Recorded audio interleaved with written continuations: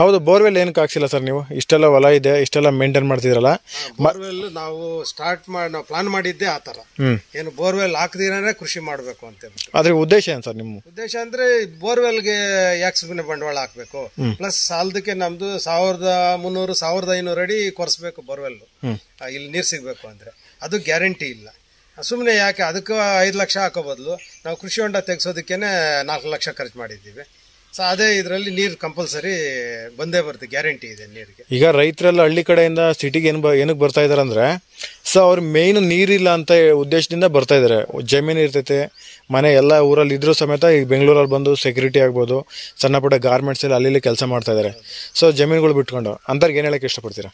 ಅಂಥವ್ರು ಈ ತರ ಮಾಡ್ಬೋದು. ಆರಾಮಾಗಿ ಪಾಲಿ ಹೌಸ್ಗೆ ಸ್ವಲ್ಪ ಇನ್ವೆಸ್ಟ್ಮೆಂಟ್ ಮಾಡಬೇಕು. ಸರ್ಕಾರದಿಂದ? ಸರ್ಕಾರದಿಂದ ಲೋನ್ ಗೌರ್ಮೆಂಟ್ ಬ್ಯಾಂಕ್ಗಳಿಂದ ಲೋನ್ ಕೊಡ್ತಾರೆ. ಸಬ್ಸಿಡಿ ಸಿಗ್ತಾ ಇದೆ.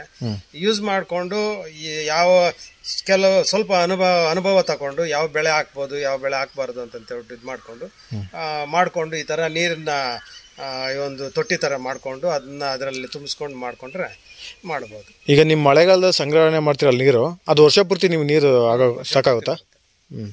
ನಮ್ ಸುಮಾರು ಇದು ಬಂದ್ಬಿಟ್ಟು ತೊಟ್ಟಿ ಬಂದ್ಬಿಟ್ಟು ನಮ್ದು ಒಂದು ಮೂವತ್ತೈದು ಅಡಿಗೆ ನೂರ ಮೂವತ್ತೈದು ಅಡಿ ಅಗಲ ನೂ ಮೂವತ್ತಡಿ ಉದ್ದ ನೂರ ಮೂವತ್ತೈದು ಅಡಿ ಆಳ ಬಂದ್ಬಿಟ್ಟು ಇಪ್ಪತ್ತೈದು ಅಡಿ ಡೆಪ್ತ್ ಹಾಕಿದ್ದೀವಿ.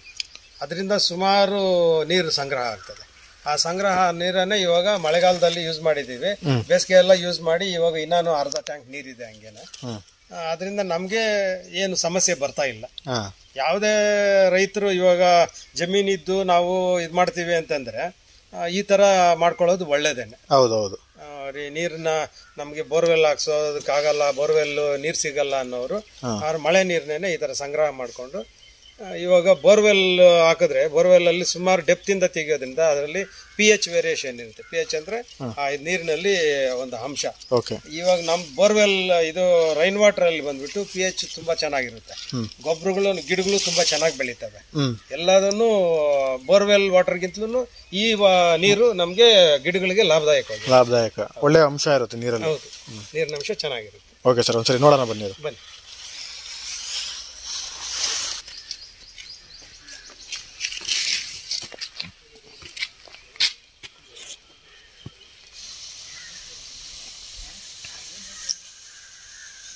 ಸರ್ ಇದು ಒಂದು ಎಕರೆಯಲ್ಲಿ ಪಾಲಿ ಹೌಸ್ ಮಾಡಿದ್ದೀರಾ? ಆದರೆ ಯಾವುದೇ ರೀತಿಯ ಬೋರ್ವೆಲ್ ಇಲ್ಲ. ಇದು ಯಾವ ಥರ ಮಾಡಿದ್ದೀರಾ? ಇದ್ರ ಪ್ಲಾನ್ ಎಲ್ಲ ಸ್ವಲ್ಪ ಎಕ್ಸ್ಪ್ಲೇನ್ ಮಾಡಿ ಸರ್ ಇದು. ನಮ್ದು ನಾವು ಪ್ಲಾನ್ ಮಾಡಿರೋದೇ ಬೋರ್ವೆಲ್ ಇಲ್ದಿರ ಕೃಷಿ ಮಾಡಬೇಕು. ಈ ತರ ಒಂದು ಗ್ರೀನ್ ಹೌಸ್ ಮಾಡಬೇಕು ಅಂತ ಹೇಳ್ಬಿಟ್ಟು. ಆವಾಗ ನಾವು ಕೃಷಿ ಮಾಡೋದಕ್ಕೆ ಬೋರ್ವೆಲ್ ಮಾಡೋದಕ್ಕೆ ನಮ್ಮಲ್ಲಿ ಬಂದ್ಬಿಟ್ಟು ಸಾವಿರದ ಇನ್ನೂರಿಂದ ಸಾವಿರದ ಐನೂರು ಫೀಟ್ ಬೋರ್ವೆಲ್ ಕೊರಿಬೇಕು. ಬೋರ್ವೆಲ್ ಕೊರೆದ್ರೂ ನೀರು ಸಿಗುತ್ತೆ ಅನ್ನೋ ಗ್ಯಾರಂಟಿ ಇಲ್ಲ.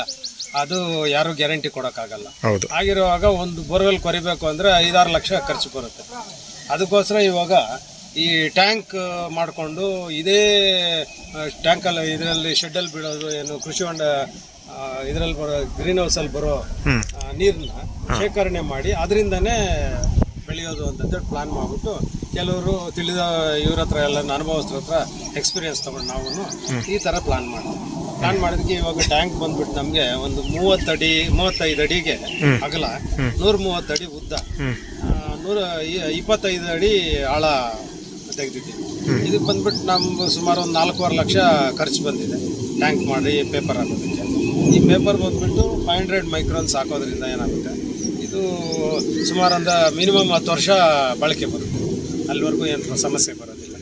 ನಾವು ಮಾಡ್ತಾ ಇರೋದನ್ನೇ ಒಂದು ನೀರಿನ ಸಮಸ್ಯೆ ಇರೋದರಿಂದ ಈ ಮಳೆ ನೀರಿನ ಆಶ್ರಿತವಾಗಿಯೇ ನಾವು ಮಾಡ್ತಾ ಇರೋದು.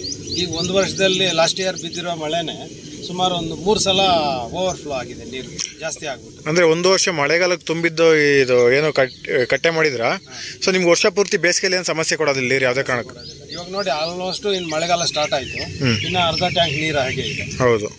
ನಮಗೆ ಇನ್ನ ಒಂದು ತಿಂಗಳು ಎರಡು ತಿಂಗಳು ನೀರು ಮಳೆ ಇಲ್ದಿದ್ರು ನಮ್ಗೆ ಸಮಸ್ಯೆ ಬರಲ್ಲ. ಅಷ್ಟರೊಳಗಡೆ ಮಳೆ ಬಂದ್ಬಿಡುತ್ತೆ. ಮತ್ತೆ ಮಳೆ ಸ್ಟಾರ್ಟ್ ಆಗುತ್ತೆ. ತುಂಬಿಕೊಳ್ಳುತ್ತೆ.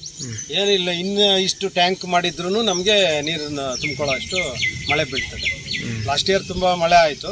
ಆದ್ರೂ ಒಂದು ಆವರೇಜ್ ಮಳೆ ಬಿದ್ರು ಸಾಕು ನಮಗೆ ತುಂಬಿಕೊಳ್ಳುತ್ತೆ ಸಮಸ್ಯೆ. ಅಂದ್ರೆ ನೀವೆಲ್ಲ ಹೊರಗಡೆಯಿಂದ ನೀರು ಬರಕ್ ಮಾಡಿಲ್ಲ ಓನ್ಲಿ ಪಾಲಿ ಹೌಸ್ ಅಲ್ಲಿ ಏನಿದೆಯೋ ಆ ನೀರು ಮಾತ್ರ ಈ ಕಟ್ಟೆಗೆ ಬರೋ ಥರ ಮಾಡ್ಕೊಂಡಿದ್ದೀರಾ? ಹೌದು ಹೌದು. ಬೇರೆ ನೀರು ಆಚೆ ನೀರು ಯಾವುದು ಬರೋದಿಲ್ಲ ಬೋರ್ವೆಲ್ ವಾಟರ್ ಬೋರ್ವೆಲ್ ಮೊದಲೇ ಇಲ್ಲ ನಮಗೆ.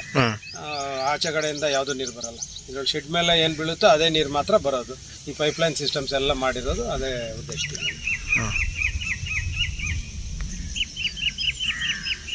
ಒಂದು ಎಕರೆಗೆ ಅಂದರೆ ನಮಗೇನಿಲ್ಲ ಅಂದರೆ ಒಂದು ಐದಾರು ಗುಂಟೆ ಅಷ್ಟು ಟ್ಯಾಂಕ್ ಮಾಡ್ಕೋಬೇಕು ಐದಾರು ಗುಂಟೆ ಅಷ್ಟು. ಐದಾರು ಗುಂಟೆ ಅಂತಂದರೆ ಒಂದು ಒಂದು ಆರು ಸಾವಿರ ಸ್ಕ್ವೇರ್ ಫೀಟು ಮಾಡಿಕೊಂಡ್ರೆ ಟ್ಯಾಂಕ್ ಮಾಡಿಕೊಂಡು ಡೆಪ್ತ್ ಒಂದು ಇಪ್ಪತ್ತೈದು ಮೂವತ್ತು ಅಡಿ ಇಟ್ಕೊಂಡ ಅಂತಂದರೆ ಚೆನ್ನಾಗಾಗುತ್ತೆ ಚೆನ್ನಾಗಿ ಆಗುತ್ತೆ ಟೋಟಲ್ ಎಷ್ಟು? ನಾಲ್ಕು ನಾಲ್ಕೂವರೆ ಲಕ್ಷ ಖರ್ಚು ಬಂದಿದೆ ಟೋಟಲ್ ಲಕ್ಷ ಖರ್ಚು ಬಂದಿದೆ. ಹ್ಞೂ ಅಂದರೆ ಇದೊಂದು ಒಂದು ಶಾಶ್ವತ ಪರಿಹಾರ ಇದ್ದಂಗೆ.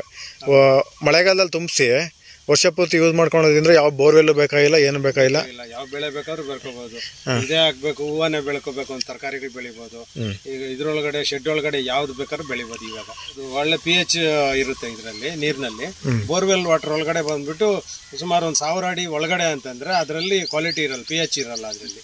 ಈ ಆಕ್ಸಿಜನ್ ಇವೆಲ್ಲಾನು ವಾತಾವರಣದಲ್ಲಿರೋ ಇದೆಲ್ಲ ಸೇರಿದ್ರೇನೆ ಪಿ ಎಚ್ ವ್ಯಾಲ್ಯೂ ಅವೆಲ್ಲ ಸಿಗೋದು.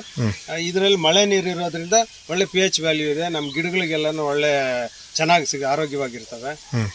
ನಾವು ಗೊಬ್ಬರಗಳು ಕೊಡೋದು ಸ್ವಲ್ಪ ಕಡಿಮೆ ಮಾಡಿದ್ರು ಈ ನೀರಿನಲ್ಲಿರೋ ಅಂಶಗಳು ಗಿಡಗಳನ್ನ ಚೆನ್ನಾಗಿ ಗ್ರೋತ್ ಆಗುತ್ತೆ. ಸರ್ ಫೈನಲ್ ಆಗಿ ಏನು ಹೇಳ್ತಾರೆ ರೈತರಿಗೆ ಬೆಳೆ ಬೆಳೆಯೋ ಈ ಥರ ಬೆಳೆಯೋದ್ರಿಂದ ಏನಾದರೂ ಉಪಯೋಗ ಇದೆಯಾ ಲಾಭ ಇದೆಯಾ? ಲಾಭ ಇದೆ. ಮಾಡಬೇಕು ಕಷ್ಟಪಟ್ಟು ಮಾಡಬೇಕು. ಇದರಲ್ಲಿ ಏನಾಗುತ್ತೆ ಅಂದ್ರೆ ಒಂದು ನೀರಿನ ಸಮಸ್ಯೆ ಇರೋ ಮೇಯ್ನು ಮೇಯ್ನ್ ಆಗಿ ಈ ತರ ಟ್ಯಾಂಕ್ ಮಾಡ್ಕೋಬೇಕು. ನೀರಿನ ಸಮಸ್ಯೆ ಇಲ್ದಿದ್ರು ಟ್ಯಾಂಕ್ ಮಾಡ್ಕೊಳ್ಳೋದು ಒಳ್ಳೇದೇನೆ. ಯಾಕಂದ್ರೆ ಬರೀ ಒಳಗಡೆ ಇರೋ ನೀರ್ನೆಲ್ಲ ಎತ್ತು ಆಚೆ ಬಿಡೋದಕ್ಕಿಂತಲೂ ಮೇಲ್ಗಡೆ ಮಳೆ ಅಷ್ಟೇ ಮಳೆಯಲ್ಲಿ ಬರೋ ನೀರನ್ನ ಯೂಸ್ ಮಾಡ್ದ ಅಂತಂದ್ರೆ ಅಂಡರ್ಗ್ರೌಂಡ್ ವಾಟರ್ ಸೇವ್ ಆದಂಗಾಗುತ್ತೆ ಅದು ಒಂದು ಒಳ್ಳೆಯ ಅಂಶ.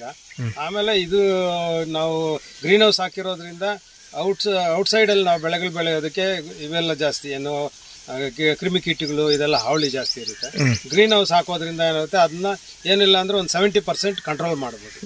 ಏನು ಈ ಥರ ಶೆಡ್ ಹಾಕಿ ಎಲ್ಲ ಮಾಡಿರೋದ್ರಿಂದ. ಮತ್ತೆ ಒಳಗಡೆ ಇನ್ನು ಅದಕ್ಕೂ ಕ್ರಿಮಿಕೀಟಗಳು ಇದ್ದೇ ಇರುತ್ತೆ ಅದಕ್ಕೆ ಔಷಧಿಗಳು ನೋಡ್ಕೋಬೇಕಾಗುತ್ತೆ. ಗೊಬ್ಬರಗಳು ಇದಾಗುತ್ತೆ. ಕೊಟ್ಕೋಬೇಕು. ಈ ತರ. ಸರ್ ಇದು ಪಾಲಿ ಹೌಸ್ ಒಳಗೆ ಏನು ಗಿಡ ಹಾಕಿದ್ರೆ ಅದರಿಂದ ಬರೋ ವೇಸ್ಟೇಜ್ ಅಂದ್ರೆ ಎಲೆಗಳೆಲ್ಲ ತಂದಿಲ್ಲ ಇಲ್ಲಿ ಹಾಕ್ತಿದ್ದೀರಾ ಹೌದು. ಅದೆಲ್ಲ ಏನು ಮಾಡ್ತೀರಾ ಸರ್? ಯಾವ ಥರ ಅದು ಪ್ರೊಸೆಸ್ ಇದು ಎಲೆ ತಂದು ಇದರಲ್ಲೆಲ್ಲ ಹಾಕಿ ಅದೇನಾಗುತ್ತೆ ಒಂದಷ್ಟು ದಿನ ಆದ್ಮೇಲೆ ಕೊಳಿತದೆ. ಆ, ಕೊಳೆತಾಗ ಏನಾಗುತ್ತೆ ಅದರಲ್ಲಿ ಒಂದು ನೀರಿನ ಅಂಶ ಕೊಳೆತು ಅದು ನೀರು ಬರುತ್ತೆ. ಆ ಲಿಕ್ವಿಡ್ನ ಕಲೆಕ್ಟ್ ಮಾಡ್ಬಿಟ್ಟು ನಾವು ಅದನ್ನೇ ನಮ್ಮ ಗಿಡಗಳಿಗೆ ಗೊಬ್ಬರ ಹಾಗೆ ಔಷಧಿಯಾಗಿ ಉಪಯೋಗಿಸ್ತೀವಿ ಅದನ್ನೇ ಅಂದ್ರೆ ಅದರಿಂದ ಬರುವಂತ ಕೊಳತಾದ್ಮೇಲೆ ಬರುವಂತ ನೀರನ್ನ? ನೀರು ಅದು ಗೊಬ್ಬರ. ಗೊಬ್ಬರ. ಆಸಿಡ್ ಟೈಪ್ ಇರುತ್ತೆ ಅದು. ಅದನ್ನ ನಾವು ಗೊಬ್ಬರ ಹಾಗೂ ಔಷಧಿ ತರ ಯೂಸ್ ಮಾಡ್ತೀವಿ ಅದನ್ನ. ಹಾಂ. ಅಂದರೆ ಎಷ್ಟು ಎಷ್ಟು ತಿಂಗಳಿಗೆ ಒಂದ್ಸರಿ ಆ ಥರ ಯೂಸ್ ಮಾಡ್ತೀರಾ ಸರ್ ಇದು?